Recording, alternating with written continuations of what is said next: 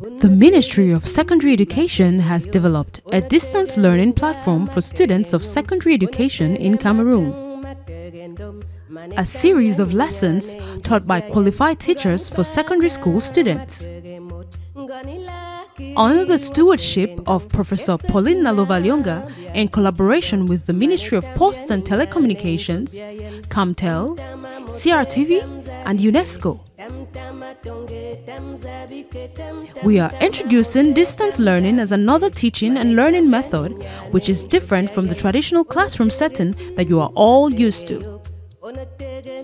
In the distance education mode, you are not with the teacher in person, so take your time, relax, listen to the teacher, take down notes, and visit the following links for any questions or answers to your questions. Take it in your stride. This is Cameroon's solution to COVID 19 and beyond. Professor Nalova Lyonga, Minister of Secondary Education. Welcome to this lesson. I am Dama Charles Bobga, your biology facilitator for lower sixth science. Um, before we go into the lesson proper, we're going to flash back to the assignment. I hope everybody did the assignment, the assignment that I gave you last class. And the assignment was considering the breakdown of glucose into pyruvic acid and then the link reaction to acetyl-CoA. How are the intermediates connected to other metabolic pathways? I already told you during the, the lesson that there is like a hop, a roundabout where you can go in other, other directions so other molecules can be synthesized from there. So we're going to now go into the assignment proper. Now you see, you see that this is glycolysis. So carbohydrates, some amino acids, and glycerol enter glycolysis. We're going to see that. Then some amino acids enter pyruvate oxidation. Then some amino acids enter fatty acids, and some amino acids enter citric acid cycle. Then oxidative phosphorylation. So it means that we have feeder pathways, feeder entries of these molecules. So uh, remember that um, remember that our principal source of energy is carbohydrate, but we can get uh, energy from amino acids. How do we do that? How does it enter the carbohydrate mainstream? We can get energy from fats. How, how does that happen? We're going to see the various places that the feeder molecules can enter to generate the ATP. So it's very important. So we're going to see that in some details. Now look at uh, that uh, um, summary uh, summary on the on the board. Now you have proteins. Proteins. Proteins. Remember that proteins are part of your muscle. So the body does not normally use protein and the body does not store it. Excess proteins are taken off. But in the case where you are starving, you are not feeding, the body can go into that reservoir. That's why you see people are starving, they are reducing in size, and the bones are, are not visible because the body is not using the amino acid deposit. But there's a special procedure for the body to use amino acids. Now look at it. Now the proteins uh, are transformed into um, uh, uh, the carbon chain is first of all broken. So there is uh, the deamination, the amino group is removed, and what we call the amino acid residue is the one that can be fed into the Krebs cycle. So remember that uh, proteins have this kind of formula. They have this kind of formula. Uh, there is an N here, and there is also, uh, sorry, there is um, an amino N, an amino N that has uh, this, there is a carbon chain, and there is also, so there is an amino N, and there is a carboxyl, and, and then a chain in the middle. So what happens is that during, for, for, for the body to use amino acid, it must break this. This is called deamination. Deamination. Is removed, and it's from there that urea is formed by a special cycle in the liver we call the Ornithine cycle. So that's very important. We're not talking about that now, but we'll talk about that subsequently. But now this section that has only the carbon is what we call the amino acid residue. It is that amino acid residue from proteins that can be fed into the Krebs cycle. So that's very important. So it can be fed into the Krebs cycle. Then the other part goes to urea and goes right to the kidneys. It is eliminated. And remember that urea is very poisonous. If the level of urea rises, it will poison your body. So that's why you need a lot of water to dilute the urea to send out. Now look at it. Polysaccharides are first converted to glucose. Glucose. So a polysaccharide like glycogen, like uh, starch, that converted to glucose. And the glucose eh, in, in glycolysis, it converts to pigal. Pigal Pigal is the 3-phosphoglycerate. And this is a common, common compound in, in photosynthesis. So it means that from photosynthesis, it is possible for uh, food material to be uh, put into the respiratory chain of plants and also of animals. Then it's broken down to pyruvate. And pyruvate goes down right to the Krebs cycle through acetyl-CoA or the link reaction. Now it is possible that fats are changed to uh, um, glycerol are changed to glycerol and fatty acids. And it's possible for glycerol to be changed to pyruvate and it enters the cycle. It's possible for fats to be changed to acetyl-CoA, fatty acids to be changed to acetyl-CoA. So you see now that there is a mainstream reaction line, but it is possible for other substrates to fit into the cycle, to fit into the cycle. And from there, they go to the electron transport chain where they produce the energy. So, uh, what you should understand about assignment is that the body does not depend only on one food source. Carbohydrate is the main food source for energy, but it can get energy from fats, it can get energy from proteins. But proteins, to get energy from proteins, the protein must first be split, deamination. The amino group separated, and the carboxy residue is now fed into the Krebs cycle. But now the ammonia can be left in the body, so it is detoxified by the liver through the ornithine cycle.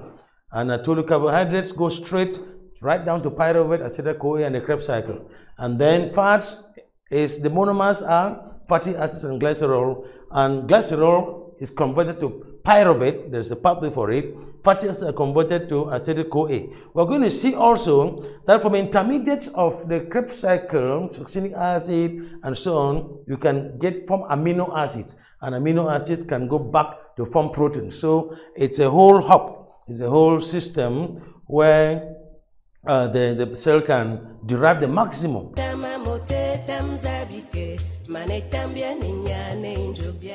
But today our focus is catabolism 3, the third part. So we're going deeper and deeper into the catabolic process. We've seen the first part, that was glycolysis. Now we're going to see the second part. But before we go that, we have to look at the objectives, the previous knowledge that you are supposed to have acquired. We'll look at uh, real life situation, lesson activities, exercises, and then we'll talk about the summary. So you can write something down and then we'll give you an assignment. So the objective for this lesson is the Krebs cycle.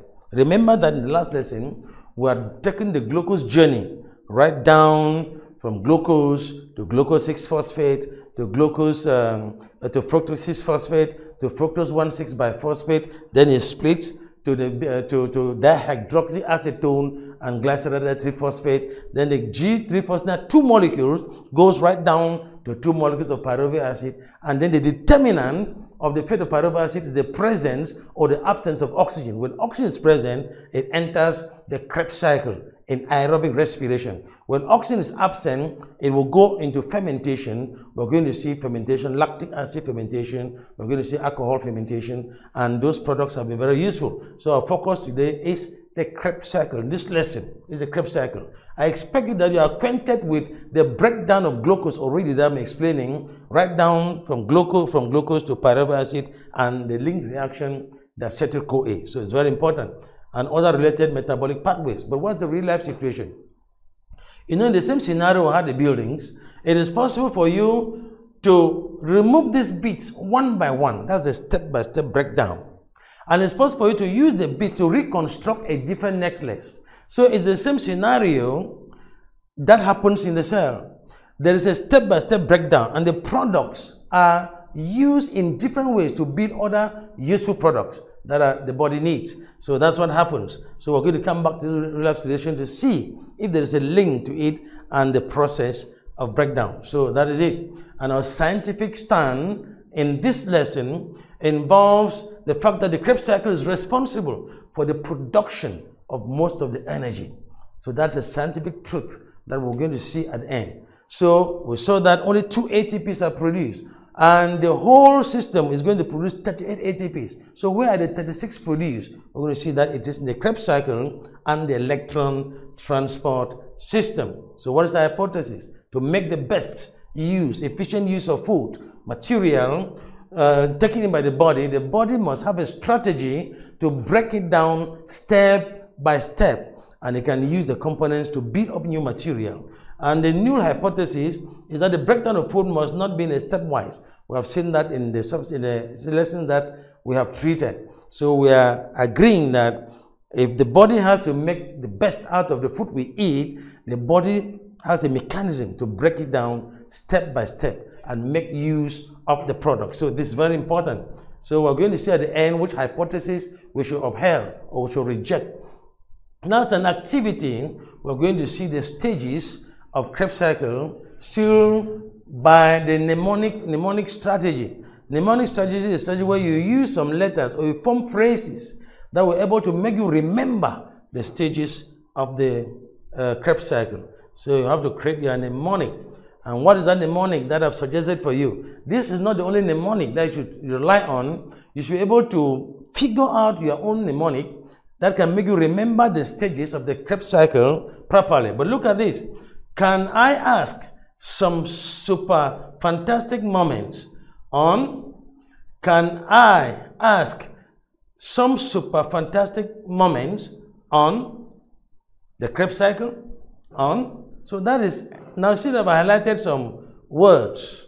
I've highlighted some words. So those are the words which will give us the stages of the cycle. So what is it? We're going to see that C can. Citrate, that's a very important compound we're going to talk about. Isocitrate, can I. Remember, isocitrate. Now look at it. There is alpha keto glutarate, very important compound. There is succinyl CoA, very important. There is succinate. There is fumarate, S. So M is malate and O is oxaloacetic acid. Fantastic moments. Can I ask fantastic moments? So you see that you can create your own mnemonic, a short form that will help you to be able to figure out the steps as you want. You are not bound to take this mnemonic. You can create your own. So that's very important. So it is called the Krebs cycle. Why is it called Krebs cycle? See that always write the K in capital letters. Why? Because it is somebody's name. Sir Hans Krebs. Dr. Sir Hans Krebs is the person who elucidated, who worked out who did a work for us to know the steps of the Krebs cycle. So it bears his name, the Krebs cycle. Now it's also called the tricarboxylic acid cycle. It's also called the tricarboxylic acid cycle. We are going to see tricarboxylic acid components within the cycle. It's also called the citric acid cycle because the first component, the first visible compound of the Krebs cycle is citric acid. So that's why those names come. So you can call it the Krebs cycle, the tricarboxylic acid cycle, or the citric acid cycle. Now it is a hop. And what does hop mean? Hop means, hop is like a runabout, where you can take a turn to many directions. So the Krebs cycle is a hop. So you can, you can, within the Krebs cycle, go to other metabolic pathways. So it's linked to other metabolic pathways. Even at least all the metabolic pathways in the cell are linked to this breakdown that we're looking at, whether it's build up or synthesis. So it's a hub of a metabolic system. So it's very important. When you understand this metabolic uh, breakdown, you understand exactly how the body functions to meet its needs. It accounts for the majority of carbohydrate, fatty acids, and amino acid oxidation. Oxidation is the process of breakdown step by step to release energy. So when you look at this, you're going to see how all the kinds of food we eat in the morning, at breakfast, at lunch, at supper, how this food is treated by the body. It's, it's very important. All right, so so that is the uh, Dr. Sir Hans Krebs who uh, did a lot of study. So look at the picture, it's still very young. It means that at this age of high school, you can already think about being a scientist. You can create a career. He discovered uh, uh, uh this work in 1937 and he received a Nobel Prize in physiology uh, or medicine in 1953 for this discovery. So when you do proper research, you are honored. So Sir Hans Krebs was honored for this great work that he, he, he did. Now it is important that we have an insight into this Krebs cycle and we're going to watch a little video uh, that will give you the insight. Watch the video carefully uh, because at the end, uh, you'll be expected to be able to relate uh, this uh, thing, this uh, video to the step that we're going to describe. So it's the citric acid cycle. It's the citric acid cycle. And it involves aerobic respiration. It involves aerobic respiration. Aerobic respiration involves glycolysis, involves pyruvate oxidation, it involves the electron transport system and the citric acid cycle. So that's very important. So when these uh, things, uh, processes happen, there is the production of ATP. So we're going to see the electron transport uh, system. So the citric acid cycle occurs uh, in, um, in different steps. We're going to see them in this video, that there are many steps involved and it takes place in the mitochondrial cristae, in the mitochondrion, and it takes place also in the matrix. It takes place in the matrix, the Krebs cycle, and uh, the electron transport system takes place in the in the cristae. It has eight steps, so we're going to go through eight steps one by one. In these steps, there will be ATP production, there will be carbon dioxide production, there will be production of coenzymes. I told you about coenzymes, NADH and NADPH2 and then there will be the use of the co uh, uh, coenzymes in, in the electron transport system. So we're going to go step by step to understand how this uh, process takes place. So we're going to see in step one that there is the formation of citrate uh, by combination of acetyl-CoA and oxaloacetic acid. So oxaloacetic acid combines with citrate, 5 carbon, and then it forms uh, 6 carbon uh, citrate. So it's very important. And the citrate um, is the first visible compound. I told you that's why it is called the citric acid cycle because of the citrate. citrate. So it combines um, with, uh, it is formed from oxaloacetic acid and um, acetyl CoA. So it is very, very important. We're going to see all those eight steps systematically. So Pyruvate dehydrogenase is the one that is, is important in the formation of acetic CoA. We already saw that in the link reaction. Acetic CoA serves as a fuel, as a fuel into the Krebs cycle. So all that video is showing you how these compounds are formed and how they combine. Then after citrate, you go to succinate. Succinate is another compound that is formed. So we have citrate, we have alpha ketoglutarate, we have succinate, and then we have fumarate. It goes back right to oxaloacetate. uh. So that is very important. There are eight steps that we're going to see in this uh, in this Krebs cycle. Now let's look at um, the diagram above. The diagram that is shown on your screen. Now the step one is acetyl-CoA. Uh, acetyl-CoA formed from the link reaction combines with oxaloacetate to form a 6-carbon citrate. 6-carbon citrate. And the 6-carbon citrate is very important. And the enzyme involved is um, uh, uh, uh, citrate, the, uh, dehydrogenase. So there is that formation. Then it is changed to isocitrate And the, the enzyme involved is aconitase. Aconitase is the enzyme that will change citrate to isocitrate. So that's very important. So isocitrate uh, dehydrogenase is also involved. Isocitrate dehydrogenase is also involved. And then from isocitrate, we have the formation of uh, alpha ketoglutarate. is also a 5 carbon. It's also a 5 carbon because there is decarboxylation. You see that carbon dioxide is removed and there's a coenzyme involved. So alpha ketoglutarate dehydrogenase is the enzyme that is involved. Then when you leave that step 4, you come to step 5 is the formation of succinyl-CoA. So step 5 involves an enzyme, succinyl-CoA synthetase. And succinyl-CoA, there is the formation of uh, guanidine triphosphate. So it's very important. After succinyl-CoA, there is the formation in step 6 of succinate. And succinate goes to fumarate. And the enzyme is fumarase. Fumarase. Remember that we name enzymes according to the substrate that they catalyze.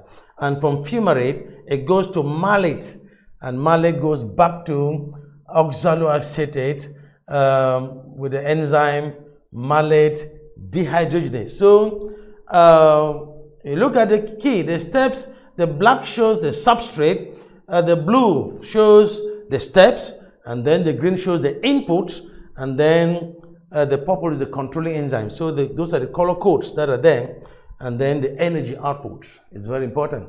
So that is the summary of the Krebs cycle. We're going to see it again. So um, in the Krebs cycle also, uh, there are formation of um, um, coenzymes, NADH, FAD, and these coenzymes are very important to generate the energy. So you look at the, the steps here, the steps here.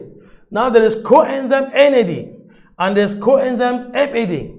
When one molecule of FAD moves through the electron transport system, this is it, when it moves through electron transport system, there is formation of three ATPs. Three ATPs. Three ATPs. So we're going to see formation of three ATPs along. When one FAD goes through the electron transport system, you have formation of two ATPs. It is on that basis that we use to calculate the total amount of ATPs that are produced. Now let's look at that chain more detailing. Now, when um, these coenzymes enter the cristae, they are uh, they are picked up by electron carriers. There is a cytochrome system, cytochrome system there is a cytochrome system. Cytochrome system. They carry out redox reaction. You look at the arrow there, the red is reduction and the yellow is oxidation. It means that the cytochrome system and the receptors carry out oxido reduction reactions. So the FMN, the flavin mononucleotide, is the first acceptor there. It is reduced when it is oxidized, when it is oxidized, it gives electrons to co coenzyme Q. And the coenzyme Q becomes coenzyme reduced. When coenzyme Q is oxidized, it passes the electrons into the cytochrome chain. Remember that from the Q, uh, uh, coenzyme Q, two hydrogens move straight. You see the arrow, move straight, but only the electrons only the electrons move through the electron transport uh, system. So that is it. So there is oxido reduction, reduction, oxidation, and now it is possible that free energy is released for the synthesis of ATP. So ATP is synthesized, ATP is synthesized. So the synthesis of ATP, synthesis of ATP, ATP. So energy is produced. So the greatest amount of energy is produced within the electron transport system. This is very crucial. So, if the pyruvate does not enter the mitochondrion, it is useless. It's going to produce only uh, alcohol, acetic acid, and lactic acid. It's going to produce all those elements that still contain energy. Alcohol still contain untapped energy. But when it enters the mitochondrion, the whole energy is now tapped and the body can use it. So the electrons flow at the end is crucial. At the end is crucial. The final acceptor of the electrons is oxygen. So oxygen accept the electrons combine with protons to form water. So that's where the, the end, the waste product or the, the byproduct of respiration, you always see six molecules of water because of this last oxidation. Now the enzyme that is catalyzing that last reaction is called cytochrome, I put like that, oxidase. Oxidase. Any enzyme can be inhibited. Now when you hear that some drugs paralyze or uh, inhibitors, it means that the drugs affect the cytochrome oxidase. It affects the cytochrome oxidase. So that enzyme can be inhibited by inhibitors and it can be lethal. So when there's some uh, drugs or poisons that can affect that enzyme, it interrupts energy production. So that is why there's some warring instruments, there's some warring instruments uh, that the edges of the spear have been rubbed with poison, like curare, and when you are shot with it, it paralyzes a muscle because this process is not able to take place. So it's they've used it for warfare. So it's very, it's very, very important. So that's the electron transport system. How can we summarize it? So hydrogen carriers, they donate energized electrons, protons, in the electron transport system, and they, they carry out oxidative phosphorylation. So oxygen acts as a final acceptor of these electrons. So how many ATPs are produced during uh, respiration? And glycolysis, when glucose is when glucose is uh, oxidized to two pyruvates, two ADH produced, two ATPs are produced, and the net production in oxidative phosphorylation will produce 8 ATPs. You look at now the transition reaction produces 6 ATP. You look at the Krebs cycle, 24. So the Krebs cycle is the greatest producer of the energy. You look at now the total ATPs, they are 38. So you can follow up the analysis and then you see that the mitochondria, that's what we call it the energy reservoir. It keeps, it can produce a lot of energy. So aerobic respiration, anaerobic or fermentation. So fermentation is enzyme catalyzed. I told you that when um, the pyruvate cannot get oxygen, it goes to anaerobic respiration. And that science of fermentation is called zymology.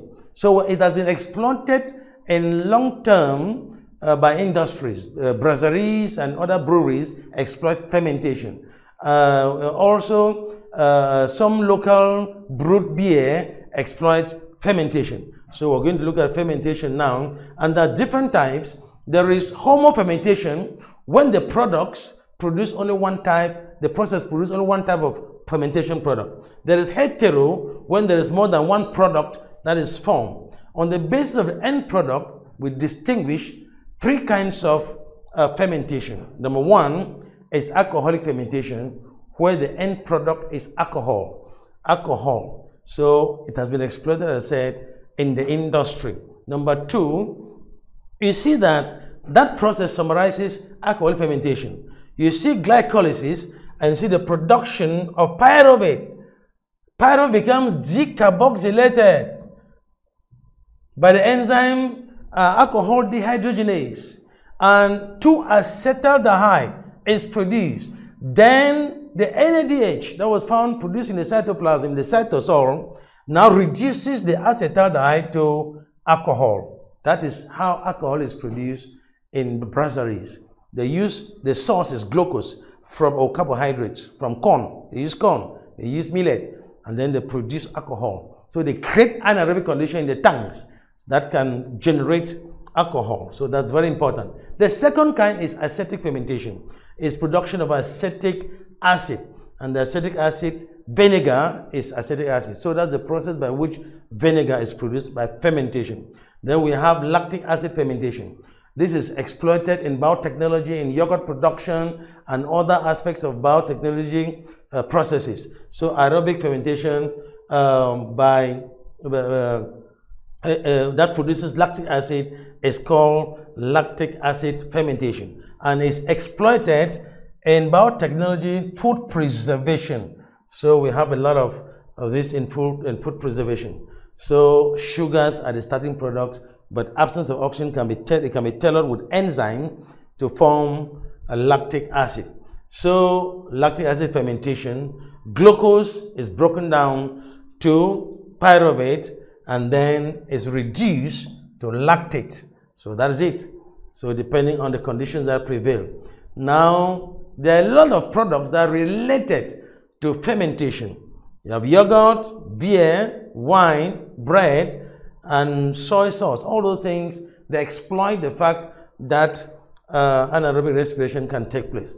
So back to real life, of course, the breakdown can be helpful because you maximize and produce um, energy. Of course, we uphold the hypothesis that uh, to make the greatest use, we must bring make breakdown simple. Now, the assignment for the next assignment for the next class give tabulated difference between aerobic and anaerobic respiration, oxidative and substrate level phosphorylation.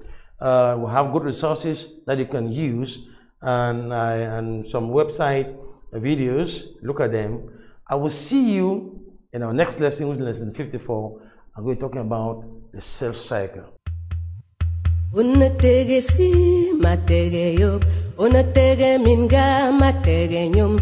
Unatege majang matege ndom Manetambia ninyane njubia yen. Ngani bana matege mot Ngani lakiri watege ndong. Esekina bia dinkido Manetambia ninyane njubia yen. Tam tama mote, tam zabike. Tam tama tonge tam zabike tam tam tama mote tam zabike. Mane tambia ninyane njubia yen